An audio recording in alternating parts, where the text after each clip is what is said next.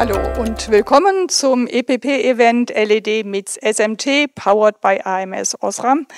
Bei mir ist jetzt Jörg Nolte, Product Manager Tools, Rework und Inspection Systems bei ERSA.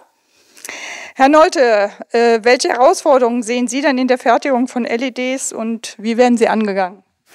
Ja, hallo, erstmal schönen Dank, dass ich hier sein darf. Äh, ich bin ja heute in Vertretung hier für den Herrn Grumm, der üblicherweise uns hier vertreten hätte. Und äh, die Herausforderungen in der LED-Technologie liegen natürlich bei uns wesentlich im äh, Fertigen der Baugruppen. Das heißt, von den Schablonendruckern über die Reflow-Öfen bis hin zur Reparatur.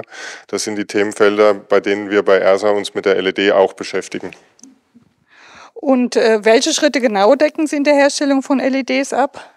Ja, wie wir heute auch im Rahmen des Vortrags vorstellen werden, geht es um die Entwärmung der LEDs mit dem Lotpastendruck beziehungsweise mit dem Schablonendruck generell, also auch in Bezug auf Sinterpastenverarbeitung oder die Verarbeitung von Wärmeleitpasten. Das wäre das ganze Thema, was mit dem Drucken der LEDs zusammenhängt. Dann äh, geht es natürlich um die Anpassung äh, der Reflow-Profile auf optimale Lötprofile in den Reflow-Öfen. Das ist ein großes Thema im Zusammenhang auch mit unseren Exos-Reflow-Anlagen, die eben äh, Vakuumtechnologie für die Verarbeitung von LEDs äh, offerieren und äh, schlussendlich der Bereich, in dem ich aktiv bin, hauptsächlich die Reparatur von Baugruppen, ein Thema, was immer wichtiger wird, dass eben die Baugruppen auch im Betrieb bei Ausfallsituationen fachgerecht repariert werden können. Das ist also unser Spezialgebiet, auch in Bezug auf LED, was mich betrifft. Ist letzter Punkt, was in Richtung Nachhaltigkeit äh, spielt, zahlt das da ein?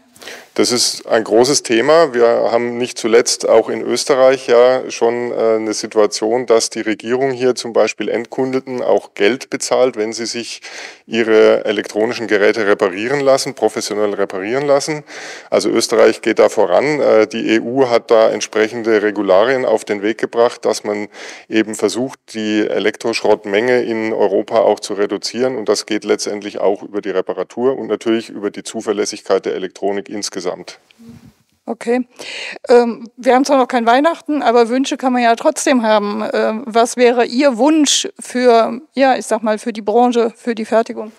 Ja, der Wunsch äh, ist äh, vor Weihnachten findet ja noch die Produktronika in München statt. Da hoffen wir sehr, dass wir auch wieder mit vielen Besuchern rechnen dürfen und ähm, interessante Gespräche führen. Grundsätzlich in der Elektronikindustrie ist es, glaube ich, so, dass wir hier in Europa äh, versuchen sollten, ähm, den Anschluss nicht zu verpassen, dass wir also weiterhin äh, mithalten können mit asiatischer Produktion.